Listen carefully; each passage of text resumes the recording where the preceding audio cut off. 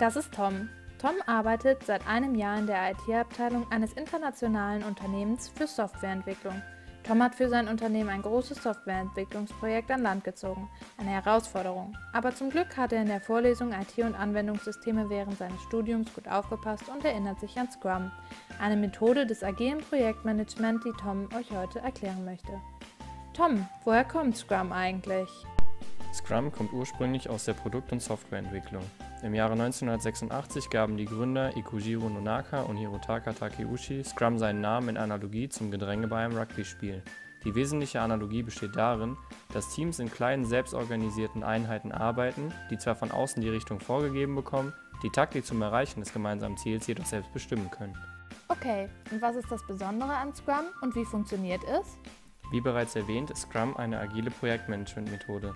Das Produkt, zum Beispiel eine Software, wird in einer Reihe von Iterationen, sogenannten Sprints, entwickelt. Die Sprints haben immer die gleiche Länge und dauern in der Regel zwischen ein bis vier Wochen.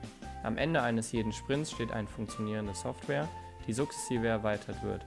Damit Scrum erfolgreich funktioniert, bedarf es drei wesentlicher Rollen. Der Product Owner entwickelt den sogenannten Product Backlog. Das ist eine Prioritätenliste mit allen Anforderungen, die das Endprodukt erfüllen sollte. Aus dieser Liste sucht sich das Entwicklungsteam während des Sprint-Plannings einige Punkte heraus, die es während eines Sprints umsetzen kann. Das Ergebnis des Sprint-Plannings ist der Sprint-Backlog, also eine To-Do-Liste für den folgenden Sprint. Während des Sprints entscheidet das Team selbst, wie es die gesetzten Ziele des Sprint-Backlogs umsetzt und organisiert sich vollkommen selbstständig. Der Leistungsfortschritt wird im Burndown-Chart festgehalten. To-Dos aus dem Sprint-Backlog wechseln dort ihren Status je nach Fertigstellungsgrad von To-Do auf In Progress in Done. Während der Sprints gibt es täglich ein Daily Stand-up, in dem lediglich drei Fragen beantwortet werden. Was wurde gestern umgesetzt? Was ist der Plan für den heutigen Tag? Was sind Hindernisse, um effektiv zu arbeiten? Am Daily Stand-up nehmen der Product Owner, das Entwicklungsteam und der Scrum Master teil.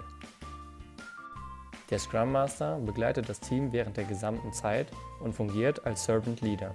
Das bedeutet, er coacht Product Owner und Team in Bezug auf den Scrum-Prozess und sorgt für die Einhaltung der Prozesse.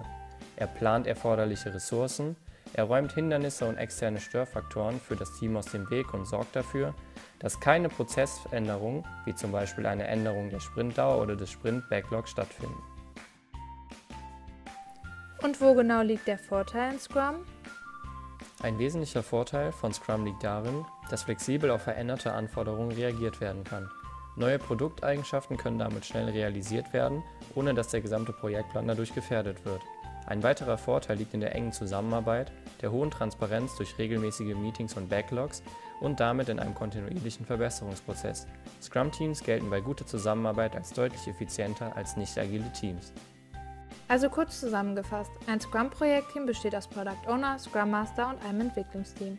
Der Product Owner gibt eine To-Do-Liste für das geplante Endprodukt vor. Das Entwicklungsteam wählt daraus einige To-Dos, setzt Schritt für Schritt in Sprints Teile der To-Do-Liste um und liefert stets ein funktionsfähiges, aber nicht fertiges Produkt. Und der Scrum Master schaut, dass alles wie geplant abläuft und es keine Hindernisse im Projekt gibt.